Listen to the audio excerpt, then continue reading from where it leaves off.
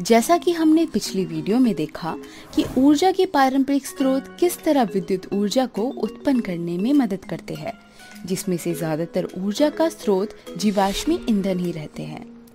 जिस स्तर पर इन जीवाश्मी ईंधन का उपयोग हो रहा है, बहुत ही जल्द ये स्रोत खत्म हो जाएँगे। फिर हमें ऊर्जा कहाँ से मिलेगी? कभी सोचा है?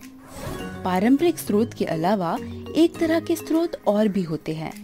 जिन्हें हम गैर पारंपरिक स्रोत के नाम से जानते हैं। गैर पारंपरिक स्रोत वह स्रोत होते हैं जिनमें नए तरह से ऊर्जा प्राप्त करने का प्रयास किया जाता है। मोटे तौर पर ये चार तरह के होते हैं। सौर ऊर्जा या सोलर एनर्जी, समुद्र से ऊर्जा, भूतापीय ऊर्जा या जियोथर्मल एनर्जी, नाभिकीय ऊर्जा या न्यूक्लियर एनर्जी। हर एक स्रोत पर बारी बारी से बात करेंगे।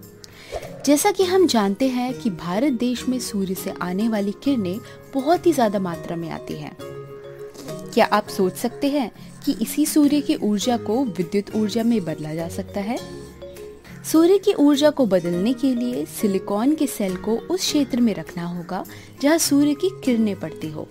ये सेल ऊर्जा को बैटरी में स्टोर कर ज़रूरत पड़ने पर इस बैटरी से विद्युत ऊर्जा के तौर पर उपयोग की जाती है। शहरों में कई जगह लोग अपनी छत पर सोलर पैनल लगाकर उससे मिलने वाली विद्युत का उपयोग कई उपकरण चलाने के लिए करते हैं।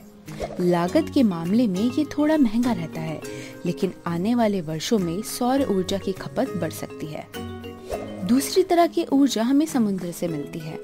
अब आप सोच रहे होंगे कि समुद्र से ऊर्जा किस तरह मिल सकती है?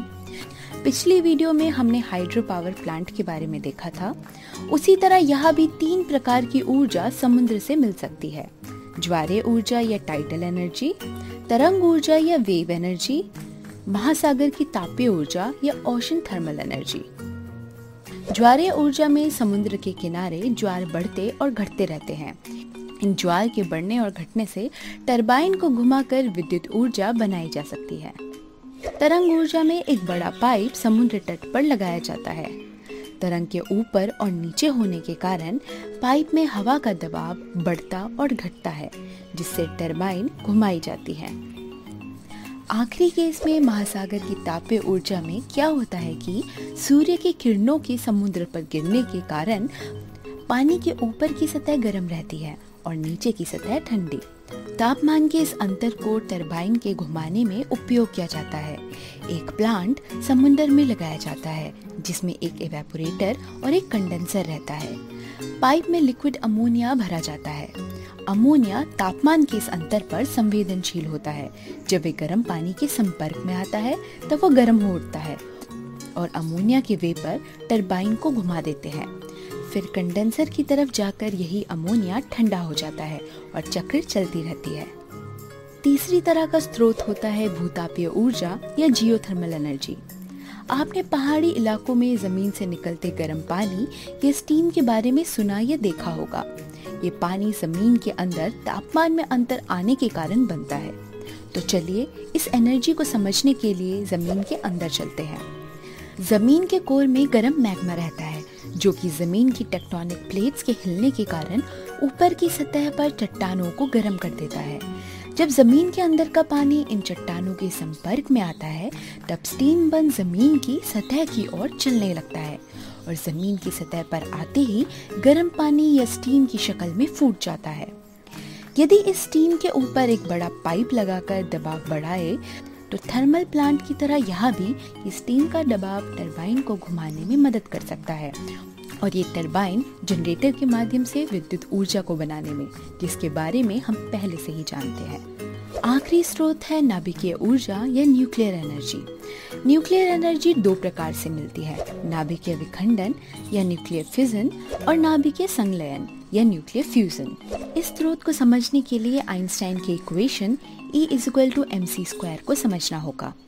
आइंस्टाइन ने दो गैर बराबर मूल्यों को बराबर बताया, एक एनर्जी और दूसरा मास आइंस्टाइन ने कहा मास को एनर्जी में बदला जा सकता है और एनर्जी को मास में। चलिए इसे करीब से समझते हैं। यदि यूरेनियम का एक अस्थिर न्यूक्लियस लिया जाए तो वह स्थिर होने की कोशिश करेगा। यूरेनियम को स्थिर बनाने के लिए एक न्यूट्रॉन को इसके पास बॉम्बार्ड किया जाए। तो यूरेनियम इस न्यूट्रॉन को अपने अंदर सोख लेगा और हमें दो स्थिर न्यूक्लियाई मिलेंगे। दो न्यूक्लियाई के साथ साथ इस प्रक्रिया में एक बहुत बड़ी मात्रा में ऊर्जा प्राप्त होगी, जिसे विद्युत ऊर्जा में बदल सकते हैं। यदि एक न्यूक्लियाई का वज़न किया जाए तो हमें यूरेनियम की तुलना में वज़न कम मिलेगा, जिसका मतलब है कि कुछ मास एनर्जी में बदल गया। दूसरे केस में संलयन होता है। यहाँ दो छोटे न्यूक्लियाई साथ मिलकर एक बड़ा न्यूक्लियस बनाते हैं।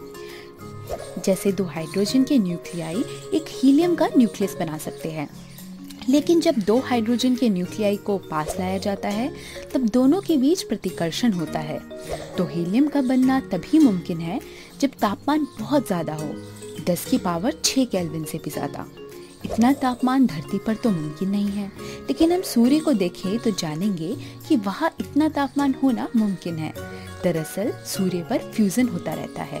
नाभिकीय ऊर्जा मिलने के साथ जो इसका अवशेष बचता है, वो जीवों के लिए बहुत ही हानिकारक होता है। इसलिए न्यूक्लियर रिएक्टर जहाँ न्यूक्लियर एनर्जी बनाई जाती है, वहाँ सुरक्षा का खास ख्याल रखा जाता है। पूरे ब्रह्मांड के आगे हम बहुत छोटे हैं, लेकिन हमारा दिमाग बहुत ही बड़ा। विज्ञान के आविष्कार मानव के इसी बड़े दिमाग की देन है। उसी प्रकार इसी दिमाग का उपयोग कर लोग विज्ञान के ज़रिए गलत काम भी कर रहे हैं। हमें हमेशा याद रखना चाहिए कि संसार के प्रति हमारी भी एक ज़िम्मेदारी है, जिसे हमें बखूबी निभाना होगा।